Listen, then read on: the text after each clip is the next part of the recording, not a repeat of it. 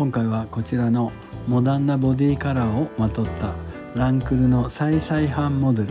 オートマチック車の運転席にエルゴメド MV というシートを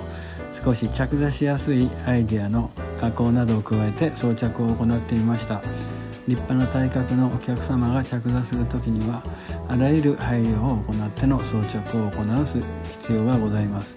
ということで無事に装着作業が終了した横長の動画でございます是非同様なお車のお客様アクセスをどうぞ。